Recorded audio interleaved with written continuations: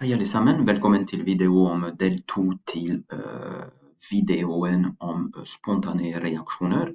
Och vi har sett i delen uh, till slut uh, fri energi som är att delta G är lik delta H minus T delta S. Så nu vi ska se när är delta G negativt. För att delta G är negativt, för exempel, kan delta H vara negativt och delta S positivt. Fordi dersom delta S är positivt så T delta S är positivt fordi temperatur är en uh, positiv värde.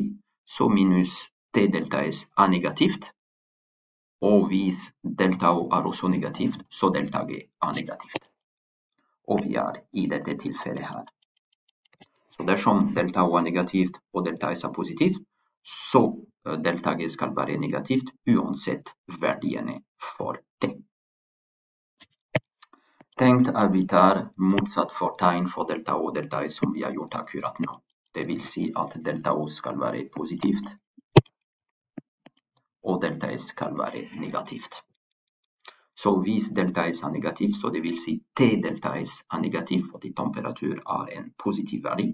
Så det vill säga att minus T delta S är positivt och minus T delta S plus delta O som är också positivt gör att vi får en positiv värde.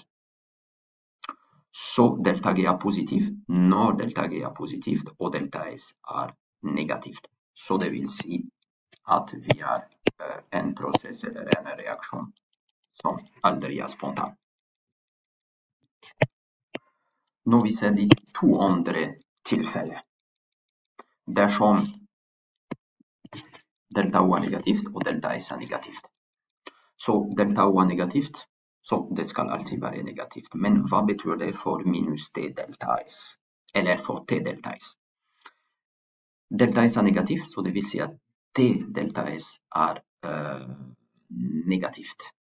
Så det vill säga att minus T delta S är positivt. Okej? Okay? För att DT ska vara negativt må vi ha en icke hög temperatur. Slik att delta G kan vara negativt.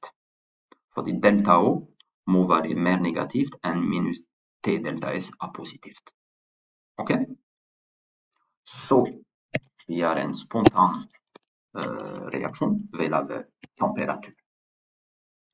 Och det må vi räkna uh, temperatur för att kunna avgöra om deltaget är negativt eller inte.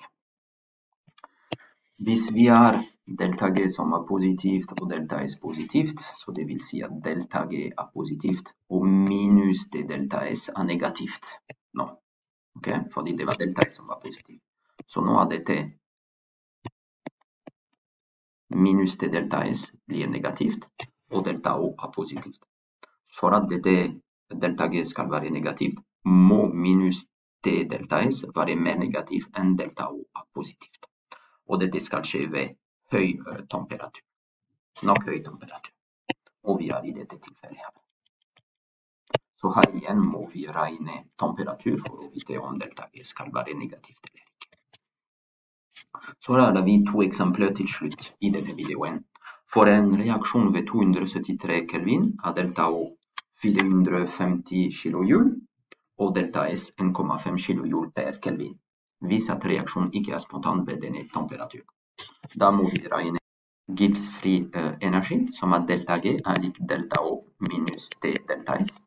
Vi byter med värdena så vi får 450 gånger 10 upphöjt 3 minus 273 gånger 1,5 gånger 10 upphöjt 3 för det där kilojoule i bägge tillfällen.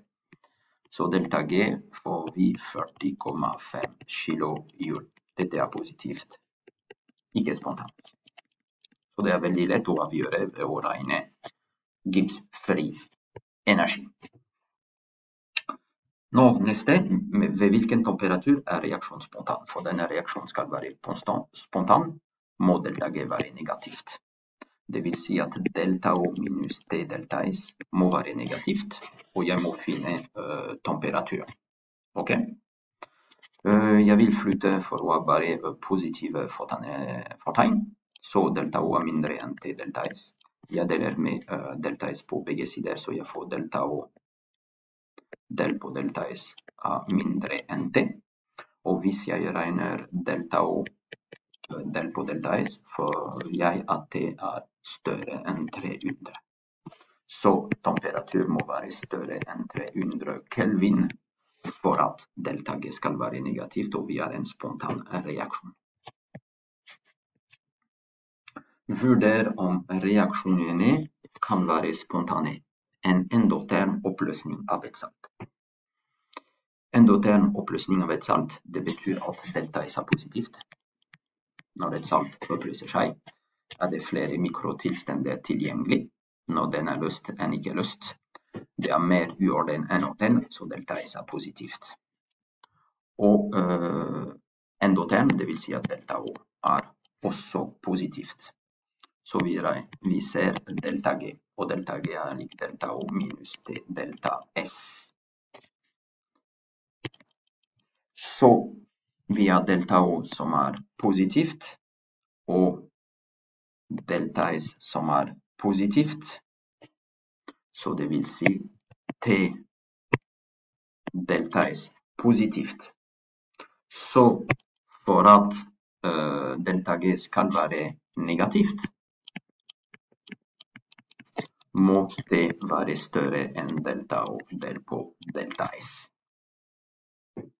Okej, okay? vi går tillbaka att bägge positiva här. Så det måste vara nog hög temperatur.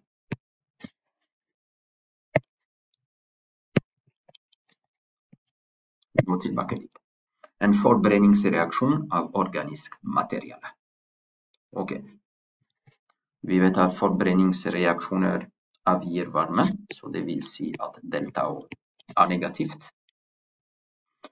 Och uh, i en förbränningsreaktion vill entropi öka.